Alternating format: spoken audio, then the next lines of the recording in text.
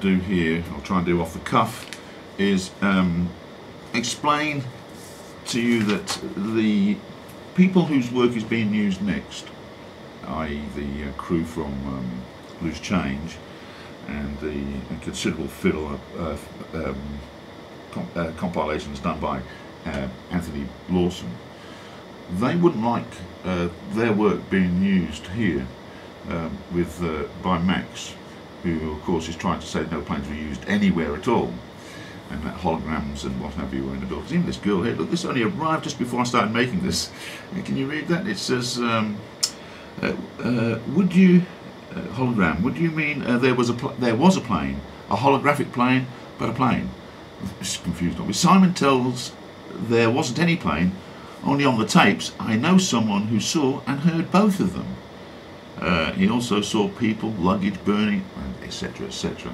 And this is, you've got honest, normal people looking for honest answers, and people insisting that there are holograms and things like that. it's, it's fantasy. Now, the work coming up, I'll see as we go along. Uh, long and probably about 10 feet long, or 10 feet wide. What could you see on the ground, if anything, other than dirt and ash? And now, this is all from the same report. I believe this is a loose change presentation. It definitely is coming up. And I know that Rowan Avery, Burns and Brown wouldn't Somerset like County it. Coroner told the Houston Chronicle it looked like somebody just dropped a bunch of metal out of the sky. I think that's In the Washington Burns. Post, it looked like someone took a scrap truck, dug a 10 foot ditch, and dumped trash into it. And as for the passengers, I stopped being coroner after about 20 minutes because there were no bodies there. In the Pittsburgh Review, I have not, to this day, seen a single drop of blood. Not a drop. It would seem that on one day, for the second time in history, an entire plane, along with its passengers, disappeared upon impact.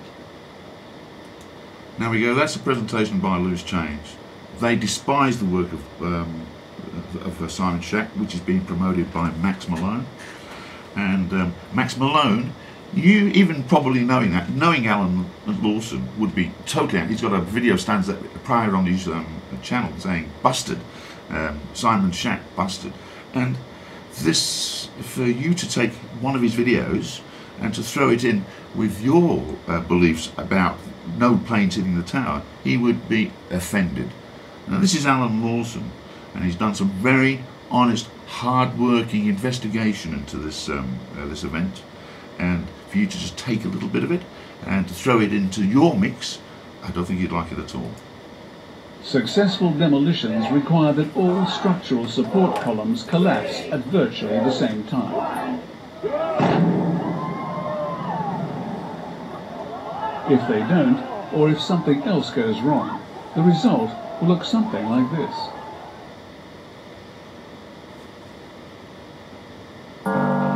This is World Trade Center 7 just before it collapsed on September the 11th, 2001. It had not been hit by an aircraft. It had been damaged by falling debris and fire. But by 5.20 p.m. most of the fires had been extinguished. Although the building was 47 stories high, it doesn't fall sideways, nor collapse unevenly. For this to have happened, all of the building's vertical supports must have given way at almost exactly the same time. Yet the Federal Emergency Management Agency reported that the collapse was due primarily to fire. But what does it look like to you? What does it look like to me? It looks like Max has been around using other people's work to suit himself, take it, not give them any credit for it, as usual, and to, to take people whose views are opposite his and yet to use snippets of their work to support his lie is wrong.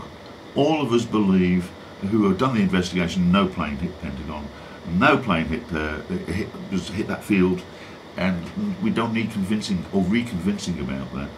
But for you then to change around the facts about planes actually hitting the building where there are over 100 independent shots. I mean, you've got the news and then you've got some 80 odd shots on top of that. I've presented some of them in my channel, the Pentagon footage. When it came out, I was the first to shove it up there. It's there. And uh, for you to turn around and to say that it's all manufactured is abominable. And especially using other people's work to support it when they don't support what you're saying. Another fail for Max Malone. If